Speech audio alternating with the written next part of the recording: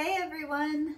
Um, I hope everybody's doing pretty well at home. Um, I, I think I have found most of you, some of you, um, through Canvas and email. That's going to be the main way that I'm going to try to communicate is um, through those two channels.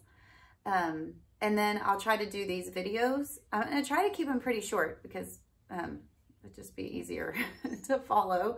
I'm going to label all of them um, with a one and then the class, either 2D design or painting, two, three, four, so that if you um, need to watch them at different times, you can figure out what order they go in.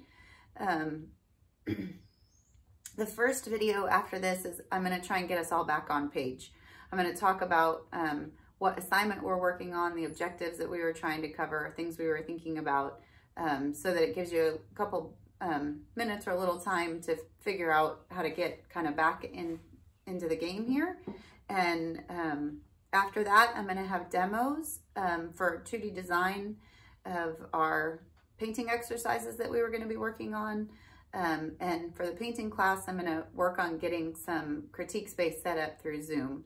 So the way that we'll communicate is that we hope to um, have some Zoom meetings um, which I can explain how to do that, um, and then via email and Canvas. So if you have any questions, just reach out to me. Um, but other than that, if you could just be patient as we are trying to figure out how to put all of our classes um, into this new format. So um, more soon. Hope, oh, and hopefully you got my last video that said, I really just need to make sure that you have your supplies and a studio space set up. So um, here's mine. Uh, and I'm gonna try to have a section for 2D design and a section for painting. Um, and I'm gonna try to do demos um, that you can uh, scrub through. When I do the demos, I don't think I'm gonna talk um, so that you can just scrub through them, but we'll see how it unfolds. So, um, okay, more soon. Bye.